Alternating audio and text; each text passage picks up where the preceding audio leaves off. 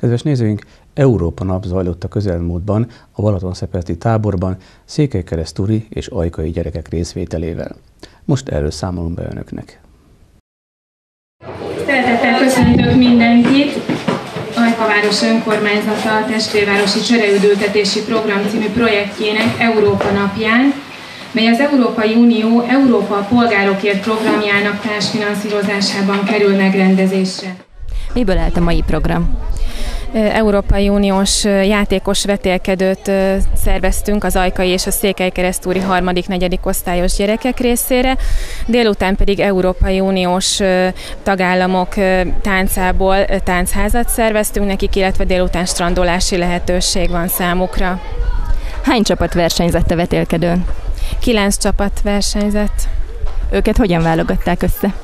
Ö, szorszámok alapján ö, kisorsolták igazából a, a versenyzőket, és vegyes csoportok álltak így össze Székelykeresztúr és ajkai gyerekekből. Kik állították össze a feladatokat, illetve kik szerepeltek a zsűriben?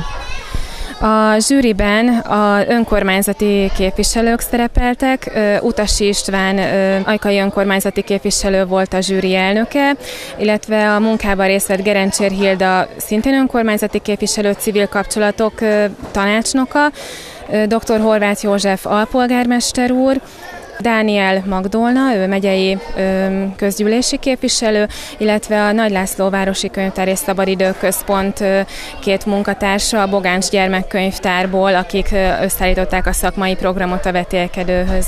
Ők név szerint Müller Magdolna és Gombos Anikó. Hogyan jött létre ez a rendezvény?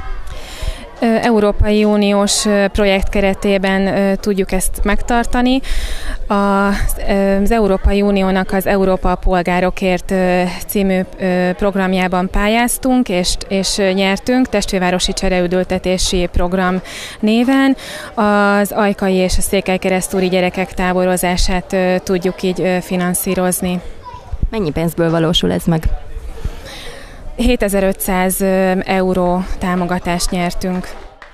Gratulálunk az első helyezéshez a csapatodnak. Nehéz volt ez a vetélkedő, mit gondolsz?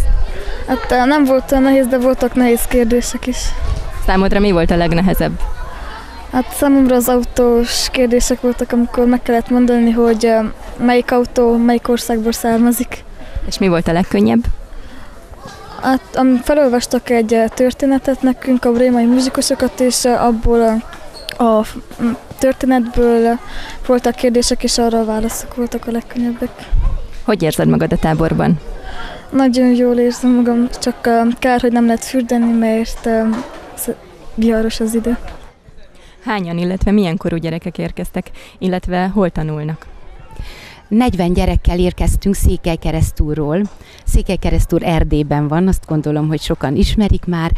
40 gyerek érkezett két iskolából, 20 gyerek érkezett a Petőfi Sándor általános iskolából, és 20 gyerek az unitárius gimnáziumból, Berde Mózes unitárius gimnázium a gyermekek harmadik és negyedik osztályosok.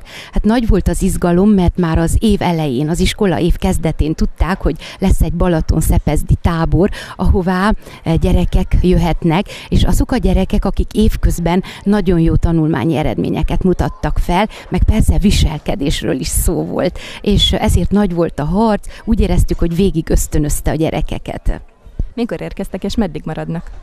17-én érkeztünk, és 23-áig maradunk.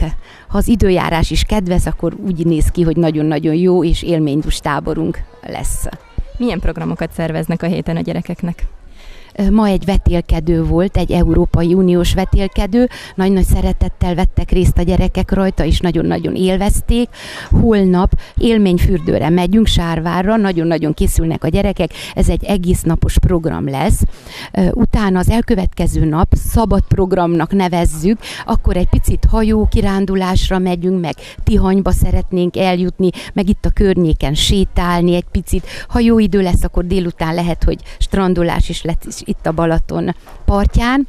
Utána meg a rákövetkező nap itt lesz egy ilyen festésprogram, amikor a gyerekek a pólójukat fogják érdekes motivumokkal kidíszíteni, délután meg azt hiszem, hogy akkor táncház lesz szervezve nekik, meg újra strandolás, az elkövetkező nap pedig az péntek lesz, akkor ismét séta lesz, strandolás, utána pedig az ajkai élményfürdőn fogunk egész napra ott programot szervezni, vasárnap meg a jó idő, ha megengedi újra strandolás, mert ezt nagyon-nagyon imádják a gyerekek, és nagyon kívánnak a Balatonba frödni. Én nagyon sokáig egy Európa parlamenti képviselő mellett dolgoztam.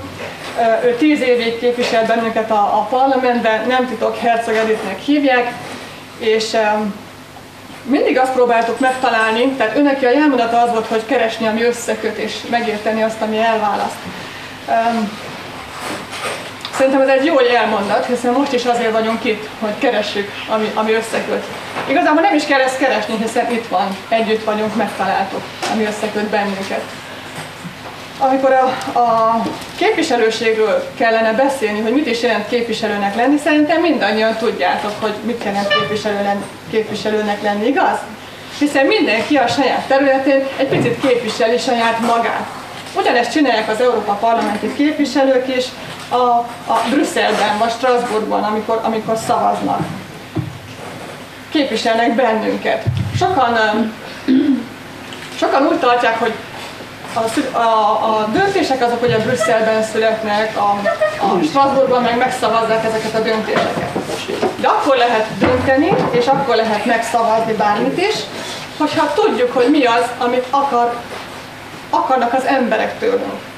Tehát ez úgy tud létrejönni, hogy nyitunk irodákat, amelyek elérhetőek, interneten nem tájékoztatjuk az embereket arról, hogy milyen döntések várhatók a közeljövőben, és akkor megmondjuk nekik, hogy nézzenek körül, olvassanak utána, és mondják el a véleményüket róluk. A képviselő mondja, hogy Magyarországon volt egy irodája, és ezt az irodát vezettem évekig. Ez minden nap nyitva volt a telefonszám is ki volt írva, internetre, mindenhova, tehát elérhetőek voltunk, és nagyon sok megkeresés érkezett, amikor bizonyos döntések születtek az Európai Unióban. Tehát előtte, hogy ezt miért így, ezt miért úgy, és mi a mi, a mi véleményünk róla. Én nagyon fontosnak tartom a kommunikációt, az, hogy beszélgessünk egymással. Én nagyon fontosnak tartom ezeket a vetélkedőket, ahol most is vagyunk, hiszen olyan információkhoz juthatunk, amiket egyébként lehet, hogy az, az életben nem keresnénk rá, akár a Google-én, vagy bárhol is, vagy nem kérdeznénk meg a tanárainktól, mert annyira nem tartjuk fontosnak, viszont ilyen helyeken előkerülnek, és ezáltal sokkal több információ kerül be ide a fejecskénkbe az Európai Unióról.